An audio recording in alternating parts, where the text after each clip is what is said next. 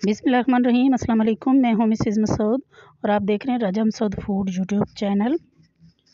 आज हम आपके साथ शेयर कर रहे हैं जी, बहुत ही यमी और टेस्टी विंटर स्पेशल जो है वो डेज़र्ट की रेसिपी, वो है शाही गजरेला की रेसिपी, गाजर खीर की रेसिपी। हम इसे स्पेशल जो है वो शाही गजरेला बोलते हैं कि स्पेशल तरीके से हम स्पेशल चीज़ों के साथ इसे बनाएँगे। बहुत ही आसान और बहुत ही यमी जो है वो ये रेसिपी बनती है। तो रिक्वेस्ट यही है कि वीडियो को पूरा देखिएगा। इसको स्किप बिल्कुल नहीं कीजिएगा। स्टेप बाय स्टेप आपको बताएँगे कि इतनी यमी और जो है वो मज़ेदार सा ये डेज़र्ट जो है वो, शाही डेज़र्ट हम कैसे बनाएँगे। तो बस वीडियो को पूरा देखना है और चैनल पर नए हैं तो प्लीज़ जो है वो जल्दी से हमारे चैनल को सब्सक्राइब कर लें और बेल का आइकन ज़रूर दबाइएगा, ताकि हमारी जो है वो जो भी वीडियो आती है, उसका नोटिफिकेशन सबसे पहले आपको मिले और ये बिल्कुल फ्री है। तो चलिए मिलके बनाते हैं और देखते हैं कि ये यमी और मज़ेदार सा शाही गजरेला हम जो है वो कैसे बनाएँगे। तो शाही गजरेला बनाने के लिए सबसे पहले जो है वो हमने यहाँ पे चार टेबल स्पून जो है वो चावल ले लिए थे।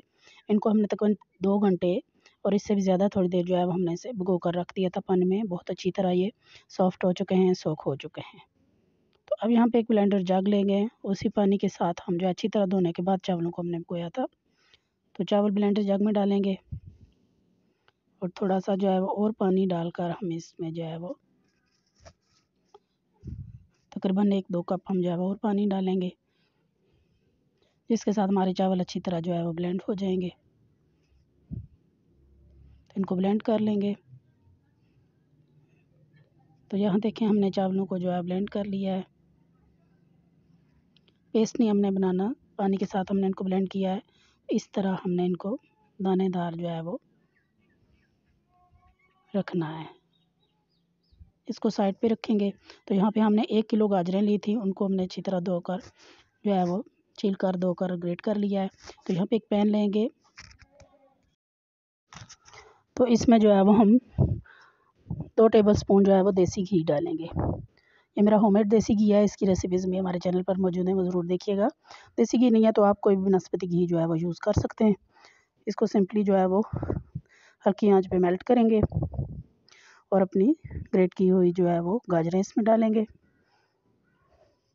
चूल्हे की फ्लेम हमने स्लो ही रखनी है यहाँ पे।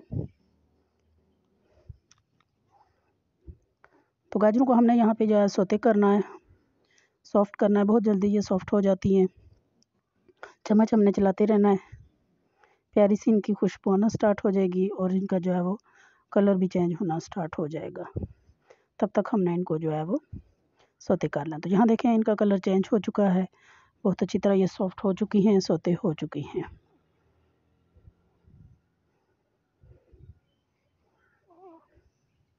तो यहाँ इस स्टेज पे हम जो है वो इसमें डालेंगे डेढ़ लीटर दूध। दूध ये फुल फैट जो है वो फुल क्रीम दूध है। खुला दूध हम यूज़ करते हैं, आप कोई सा भी दूध जो है वो इस्तेमाल कर सकते हैं। फुल क्रीम जो दूध होता है, उससे बहुत अच्छी जो है हमारी खीर बनेगी। मिक्स करेंगे दूध को। और यहाँ पे चम्मच चलाते रहेंगे हम वक्फे वक्फे से और फुल फ्लेम करेंगे ताकि इसको बॉयल आ जाए। चम्मच चलाते रहना है क्योंकि बॉयल आने से इसमें गुठलियाँ भी पड़ सकती हैं। तो यहाँ देखें बॉयल आना स्टार्ट हो गया तो हाफ़ टी स्पून हम जो है यहाँ पे सब्ज़ इलायची का पाउडर डाल रहे हैं। आपके पास पाउडर नहीं है तो साबुत इलायची भी आप डाल सकते हैं फ्लेवर के लिए। तो यहाँ पे हमने जो अपने चावल ब्लेंड करके रखे थे, वो भी शामिल कर देंगे।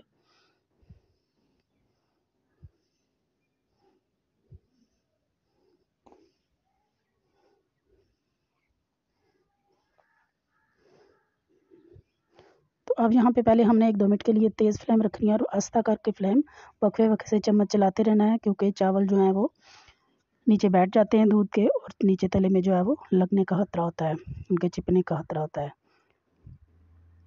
तो चम्मच हमने बीच बीच में चलाते रहना है।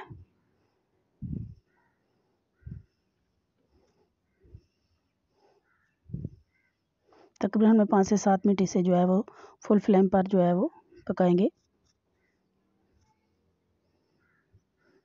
तो इसके बाद हमने इसकी जो है वो फ्लेम स्लो कर देनी है।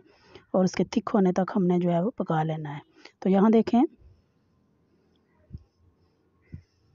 ये माशाल्लाह बहुत प्यारी जो है वो थिक हो चुकी है। चावल हमारे बहुत अच्छी तरह पक चुके हैं। तो अभी स्टेज पे डालेंगे हम चीनी। एक कप चीनी हम डाल रहे हैं। गाजरें भी हमारी बहुत मीठी हैं तो उस हिसाब से ये इनफ है। यानी कि काफ़ी है तो आप अपने टेस्ट के अकॉर्डिंग भी चीनी डाल सकते हैं। तो चीनी भी जहाँ पे पानी छोड़ेगी। तो उसको भी हमने पाँच से सात मिनट पकाना है, ताकि चीनी जो है वो अपना पानी पक जाए, उसका पानी ड्राई हो जाए।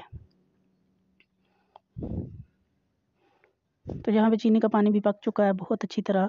यमी सी हमारी जो है वो गाजर खीर का लुक आना स्टार्ट हो गई है। तो इस स्टेज पे हम डालेंगे यहाँ पे एक कप खोया। ये होममेड इंस्टेंट खोया है। इस होममेड इंस्टेंट खोया की रेसिपी हमारे चैनल पर मौजूद है, वो भी ज़रूर देखिएगा।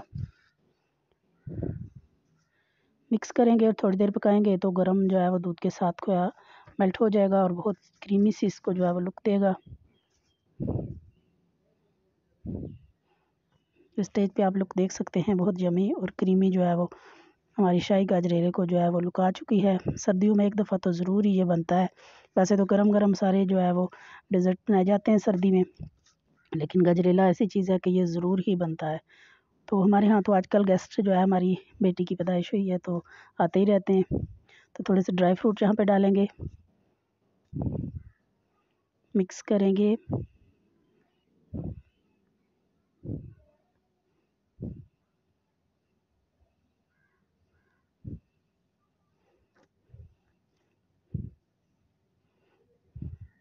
और अब जो है वो आखिर में हम डालेंगे मलाई।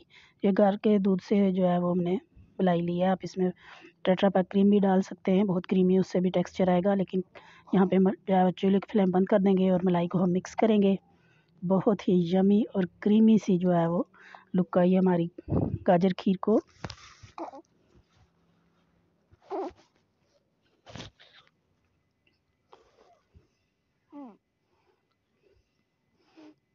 क्योंकि जब ये ठंडी होगी तो और ज़्यादा थिक और क्रीमी हो जाएगी। तो यहाँ पे हम चूल्हे की फ्लेम बंद करेंगे और इसे थोड़ा सा जो है वो ठंडा होने देंगे। तो बिस्मिल्लाह रहीम, हमारी खीर जो है यहाँ पे ठंडी हो चुकी है रूम टेम्परेचर पे आ चुकी है। तो इसकी आप लुक चेक करें कितनी यमी और क्रीमी आई है। क्योंकि ये ठंडा होने के बाद और थोड़ी सी जो है वो क्रीमी और यमी हो चुकी है थिक हो चुकी है। माशाल्लाह से देखने में बहुत प्यारी और बहुत यमी लग रही है।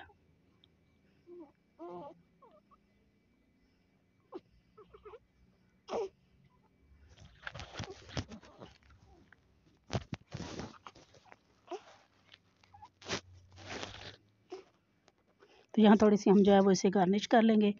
ड्राई फ्रूट के साथ, बादाम के साथ आप जो भी अपनी जो है पसंद के ड्राई फ्रूट हैं, अपनी पसंद से जो है इसकी गार्निश कर सकते हैं डेकोरेशन कर सकते हैं। बहुत ही यमी और बहुत ही टेस्टी जितनी खूबसूरत देखने में ना, इंशाल्लाह इतनी ही मज़ेदार और टेस्टी ये होगी। तो आप जो है एक दफ़ा ये ज़रूर ट्राई कीजिएगा, इंशाल्लाह सबको बहुत पसंद आएगी। और अगर जो है वो आपको हमारी ये वीडियो पसंद आई है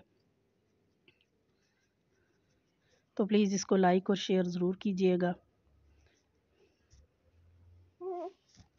तो चैनल पर नए हैं तो प्लीज़ जो है वो जाने से पहले चैनल को ज़रूर सब्सक्राइब कर लीजिएगा। बेल का आइकन ज़रूर दबाइएगा ताकि हमारी हर आने वाली नई वीडियो का नोटिफिकेशन जो है ना, सबसे पहले आपको मिले। तो अपना बहुत ख्याल रखिएगा, मुझे दुआ में याद रखिएगा। बहुत शुक्रिया। अल्लाह हाफिज़।